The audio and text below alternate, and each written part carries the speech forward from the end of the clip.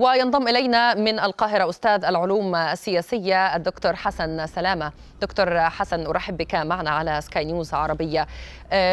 بالتأكيد زيارة مهمة وفي توقيت أيضا مهم مباحث عديدة تتزاحم على طاولة الزعيمين الإماراتي ولي العهد الإماراتي ولي عهد أبو ظبي والرئيس المصري. يعني طبعا هناك عدد كبير من المتغيرات التي ألمت بالمنطقة. برأيك ما هي أبرز هذه المباحث؟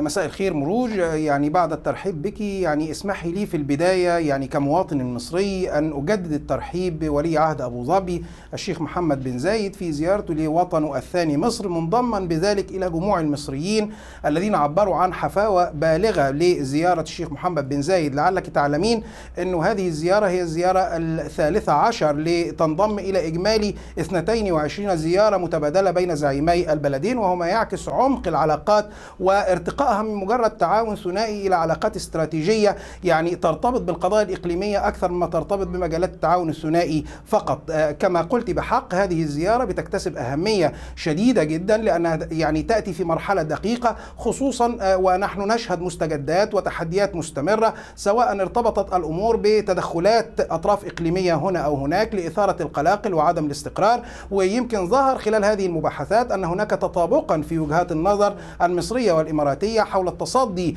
لكل محاولات مهددات الأمن القومي ولعلك تذكرين ما قاله الرئيس السيسي أكثر من مرة من أن أمن الخليج هو جزء لا يتجزأ من أمن مصر وأن الأمن القومي العربي يتكون من الأمن القطري لكل الدول العربية. أظن أنه أمن الإمارات جزء لا يتجزأ من أمن مصر وكذلك أمن مصر لا يتجزأ من أمن الإمارات وهو ما أكده ولي عهد أبو ظبي أكثر من مرة. لعل هذا التطابق فيه رسالة قوية لكل من تسوي له نفسه أن يعبث في المنطقة. المنطقة بأن يرتدع وأن يتوقف عن هذه المحاولات الاستفزازية. أيضا تذكرين بكل يعني تقدير انضمام الإمارات كمراقب وترحيب مصر بانضمامها كمراقب إلى منتدى غاز شرق المتوسط.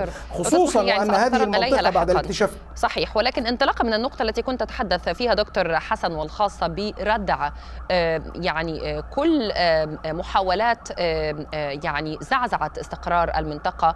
ودعنا نسمي الأمور بمسمياتها وهي ذكرت في هذا اللقاء كثيرا وهي محاربة الإرهاب. الكل يعلم أنه القاهرة وأبو ظبي هما رأسا حربة المقاومة ومحاربة الإرهاب في المنطقة. وساعد التنسيق بينهما التصدي ل يعني كل هذه المحاولات. وأيضا وأد عدد آخر من يعني محاولات يعني نفاذ الإرهاب في المنطقة.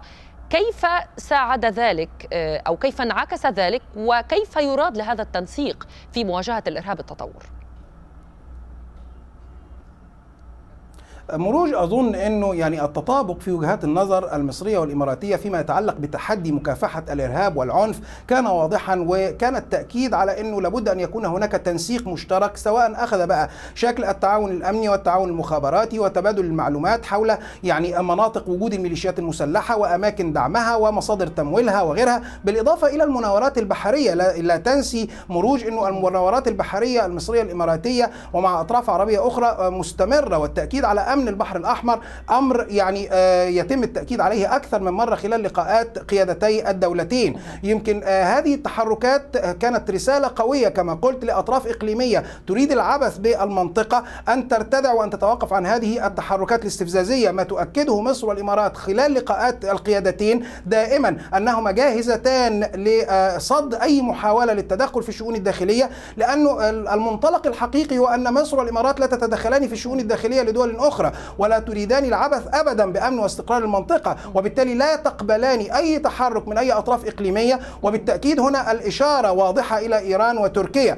لا تقبلان ابدا بأي تحرك استفزازي قد يؤدي إلى إثارة الاستقلال إثارة عدم الاستقرار في المنطقة. ولعلك تذكرين التحرشات التي قامت بها إيران أكثر من مرة بسفن إماراتية وسفن عربية وكذلك الاستفزازات التي تقوم بها تركيا في منطقة شرق المتوسط. كلها أعتقد أنها يعني ستفكر أكثر من مرة نتيجة رسالة الردع التي وجهتها كل من الإمارات ومصر خلال صحيح. لقاء زعيمي البلدين اليوم. الحديث عن استفزازات تركيا في شرق المتوسط كم من ثقل آه، تعطيها الخطوة وهي انضمام أبو ظبي أو انضمام الإمارات إلى منتدى غاز آه، شرق المتوسط كدولة مراقب؟ كم يعطيه من ثقل لجهود مواجهة آه، الإتيان على حقوق دول شرقي المتوسط؟ يعني مروج تعلمين أن مصر استبقت الأمور بتحديد المناطق الاقتصادية الخالصة مع اليونان وقبرص وكان هذا سدا لمنافذ كثيرة كانت تحاول تركيا يعني التدخل من خلالها. ويأتي اليوم لتضاف الإمارات كقيمة حقيقية وإضافة حقيقية إلى المنتدى فانضمام دولة كبيرة في حجم دولة الإمارات العربية المتحدة ولها ثقل داخل الدول داخل منظمة الدول المصدرة للبترول أعتقد أنه سوف يمثل إضافة حقيقية بخبرتها للدول المؤسسة لهذا المنتدى كما أنها سوف يعني تعطي رسالة قوية أيضا بأنه الجميع على قلب رجل واحد وأن هناك تضامنا مهما للاستفادة من هذه الثروات لأصحابها وليس للأطراف التي تغامر بأوهام استعمارية بالية. أظن أنه تمثل رسالة قوية بال- للغاية للتعاون أيضا في إمدادات الطاقة والكهرباء خصوصا أن مصر يعني تسعى إلى أن تكون يعني مركزا للطاقة وإمدادات الطاقة في المنطقة. فأظن أنه التعاون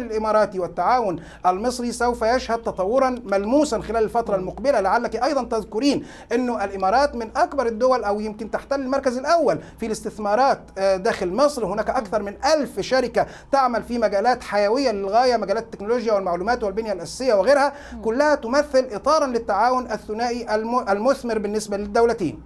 شكرا جزيلا لك. من القاهرة أستاذ العلوم السياسية دكتور حسن سلامة.